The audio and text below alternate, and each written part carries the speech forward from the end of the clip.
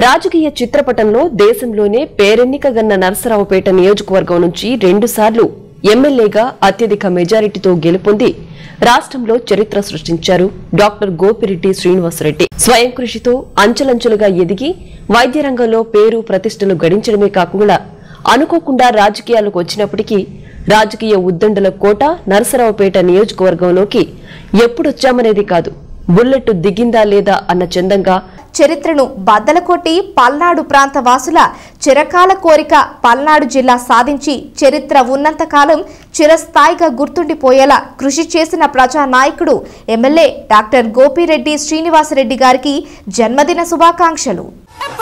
పల్నాడు గడ్డ మీద గోపిరెడ్డన్నా వెంట జనం ప్రభంజనం చూడవే అన్నా.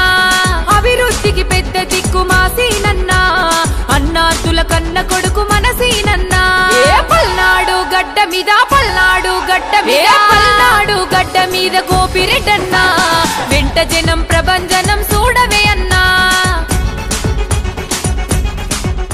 రొంపిచెర్ల మండలం బుచ్చిపాపన్నపాలెం గ్రామంలో ఉపాధ్యాయునిగా పనిచేసిన స్వర్గీయ గోపిరెడ్డి వెంకటేశ్వరరెడ్డి సుబ్బాయమ్మ దంపతులకు నలుగురు సంతానంలో చిన్న కుమారుడుగా జన్మించిన శ్రీనివాసరెడ్డి స్వగ్రామంలోని తన తండ్రి పనిచేస్తున్న ప్రభుత్వ పాఠశాలలో ఐదో తరగతి వరకు విద్యనభ్యసించారు చదువులో ముందు వరుసలో ఉన్న శ్రీనివాసరెడ్డిని కోరుకొండ సైనిక్ స్కూల్ ప్రవేశ పరీక్ష రాసి సీటు సాధించారు. దీంతో ఆరవ తరగతి నుంచి ఇంటర్మీడియట్ వరకు ఎంబైపీసీ విభాగంలో అక్కడే విద్యను అభ్యసించారు. ఎంసెట్ ఎంట్రన్స్లో మెడిసిన్ ఇంజనీరింగ్ విభాగాలలో సీటు రావడంతో తనకిష్టమైన మెడిసిన్ కోర్సును ఎంచుకున్నారు.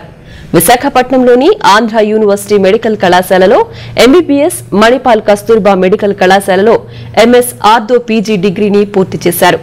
అటు వెంటనే ఆదిలాబాద్ జిల్లాలోని బెల్లంపల్లి సింగరేణి కాలనీస్ ఆసుపత్రిలో హైదరాబాద్ అపోలో ఆసుపత్రిలో వైద్యాధికారిగా పనిచేసి అనుభవం గడించారు. అనంతరం రెండు వేల ఒకటి సంవత్సరం డిసెంబరులో నర్సరావుపేట పట్టణంలోనే అద్దె భవనంలో ఆసుపత్రిని ప్రారంభించారు. పేదలు సామాన్య ప్రజల వైద్యునిగా తక్కువ ఫీజుతో వైద్య సేవలు అందిస్తూ నర్సరావుపేట నియోజకవర్గంతో పాటు పల్నాడు ప్రకాశం జిల్లాల పరిధిలోని ప్రజల మన్నలను పొందారు. రెండు వేల తొమ్మిది సంవత్సరంలో గుంటూరు రోడ్డులో సొంత భవనాన్ని నిర్మించుకుని సుష్మిత ఆర్దో ఆసుపత్రిని ప్రారంభించారు. స్వతహాగా తమ స్వగ్రామమైన రొంపిచెర్ల మండలం బుచ్చిపాపన్నపాలెం గ్రామంలో కాంగ్రెస్ అభిమానులుగా ఉండే డాక్టర్ గోపిరెడ్డి శ్రీనివాసరెడ్డి కుటుంబం మహానేత దివంగత ముఖ్యమంత్రి డాక్టర్ వైఎస్ రాజశేఖర్ రెడ్డి మరణానంతరం దుఃఖ సాగరంలో మునిగిన కాంగ్రెస్ శ్రేణులకు అండగా నిలిచారు.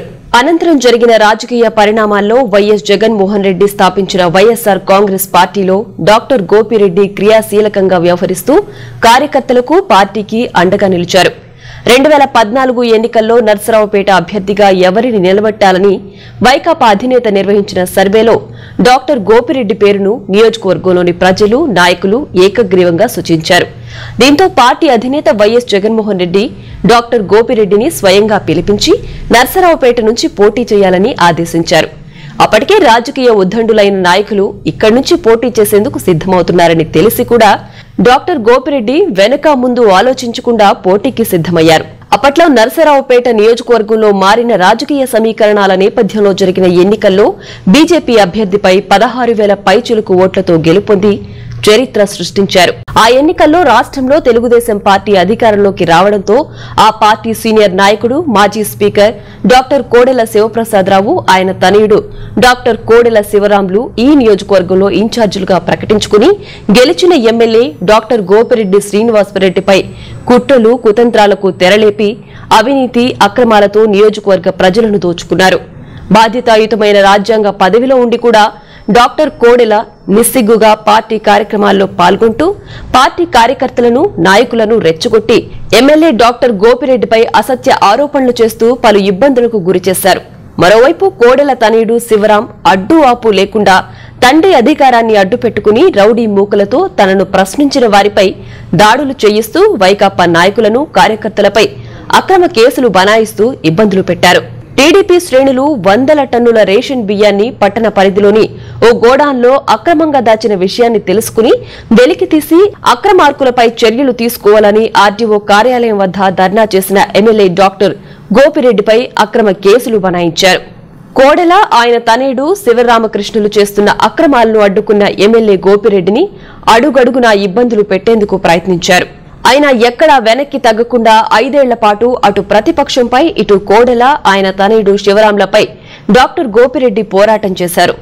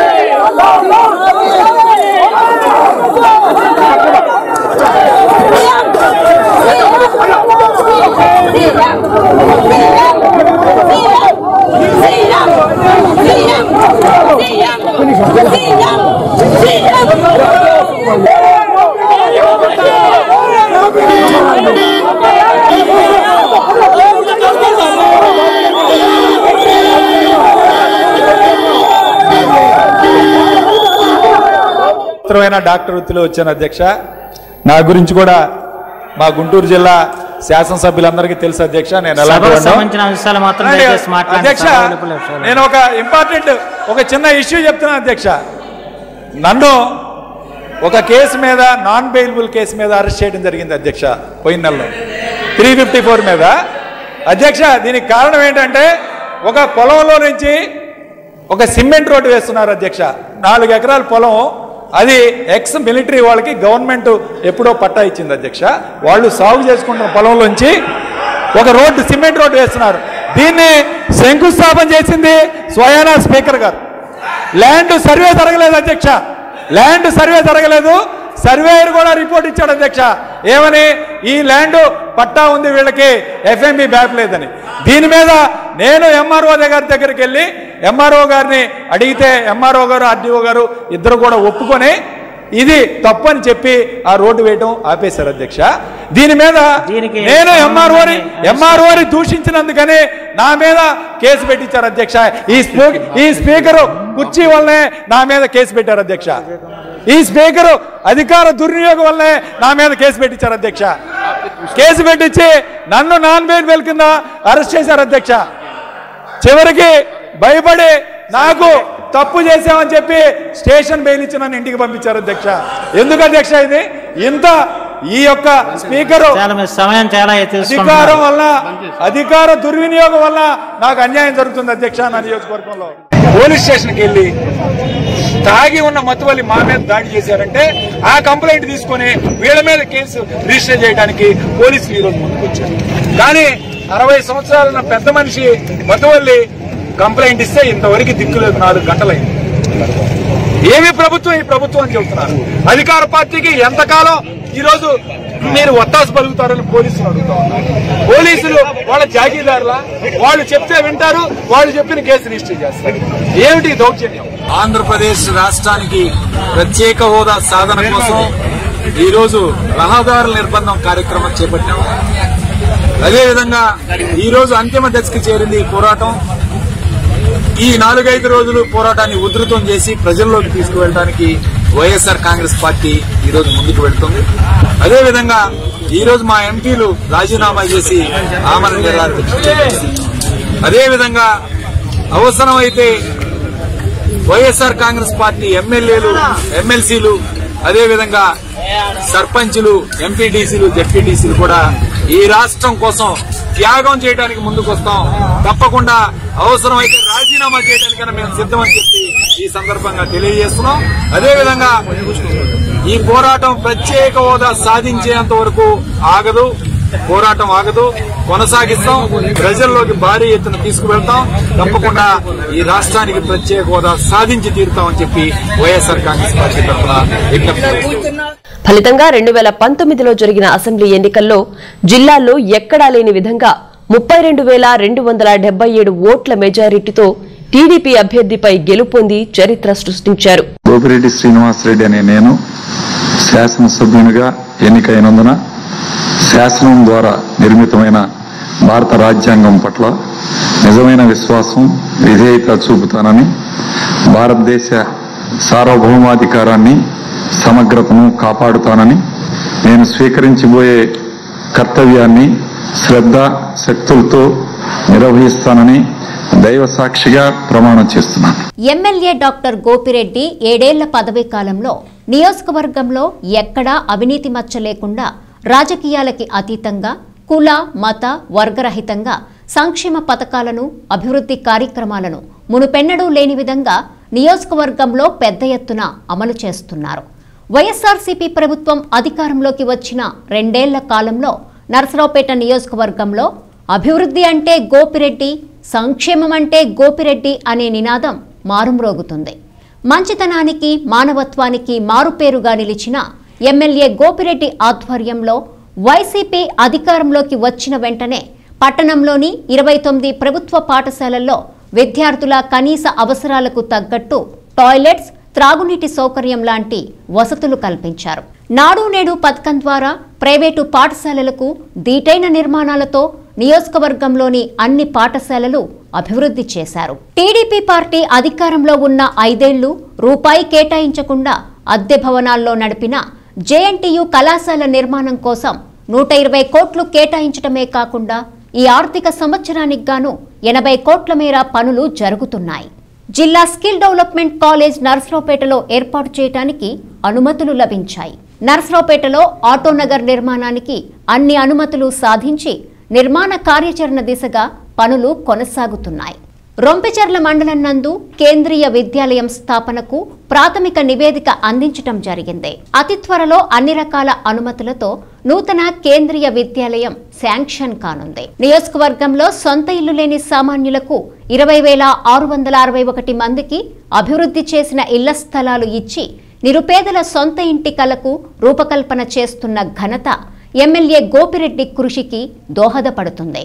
శతాబ్దం పైన చరిత్ర కలిగిన ఏరియా ఆసుపత్రిని జిల్లా ఆసుపత్రిగా అప్గ్రేడ్ చేయించటమే కాక టీడీపీ హయాంలో అసంపూర్తిగా నిర్మించి తీవ్ర అవినీతి ఆరోపణల మధ్య పలు నిర్మాణాలు చేయకుండా వదిలేసిన వైద్యశాలను కోవిడ్ విపత్కర పరిస్థితుల్లో యుద్ధ ప్రాతిపదికన ఆరు పాయింట్ ఐదు కోట్లతో నిర్మాణం పూర్తి చేసి అత్యంత ఆధునిక వైద్య పరికరాలతో పూర్తిస్థాయి సిబ్బందిని కేటాయింప చేసుకొని పల్నాడు ప్రాంతంలో వేల మంది కరోనా పేషెంట్స్కి వైద్యం అందించి ఒక సంజీవినిగా రాష్ట్రంలోనే పేరెన్నికగాంచింది నర్సరావుపేట చేజర్ల కోటప్పకొండ నర్సరావుపేట రహదారుల్ని డబుల్ రోడ్స్గా అప్గ్రేడ్ చేస్తుండటంతో పాటు నియోజకవర్గంలో పలు రహదారులు విస్తరణ పనులు ముమ్మరంగా కొనసాగుతున్నాయి. నియోజకవర్గంలో అమలు జరుగుతున్న అభివృద్ధి సంక్షేమ పథకాలను ప్రతిపక్షాలు సైతం అభినందించటం ఎమ్మెల్యే గోపిరెడ్డి పనితీరుకు నిదర్శనం. కరోనా వైరస్ నర్సరావుపేట పట్టణాన్ని ఆవహించిన వేళ ఎమ్మెల్యే గోపిరెడ్డి వార్డుల్లో పర్యటించి ప్రజల సమస్యలను ఇబ్బందులను తెలుసుకుంటూ తన సొంత డబ్బుతో లాక్డౌన్ వల్ల ఇబ్బంది పడుతున్న ప్రజలకు నిత్యవసర సరుకులు కూరగాయలు బియ్యం పాల ప్యాకెట్లు కోడిగుడ్లు ఇతర అత్యవసర సామాగ్రిని పంపిణీ చేసిన తీరు నియోజకవర్గ ప్రజలు ఎన్నటికీ మరవలేరు. ఒక పక్క కరోనా వైరస్ వ్యాప్తి ఉధృతంగా ఉన్నప్పటికీ నియోజకవర్గంలో అభివృద్ధి సంక్షేమ పథకాలతో పాటుగా కరోనా మహమ్మారిని ఢీకొట్టే వ్యాక్సిన్ అనే ఔషధాన్ని ప్రజలకు అందించిన తీరు నియోజకవర్గ ప్రజలు ఎన్నటికీ మరవలేరు. నలువైపుల నుంచి నరసరావుపేట పట్టణంలోకి వచ్చే Guntur road Vinukonda road Ravipadu road Palapadu రోడ్డులను ఆధునీకరించి తూర్పుగోదావరి జిల్లా కడియం నుంచి తెప్పించిన పచ్చని మొక్కలను నాటించి సుందరీకరించిన తీరు పట్టణంలోకి వచ్చే వారిని వెళ్ళే వారిని ఎంతగానో ఆకట్టుకుంటుంది.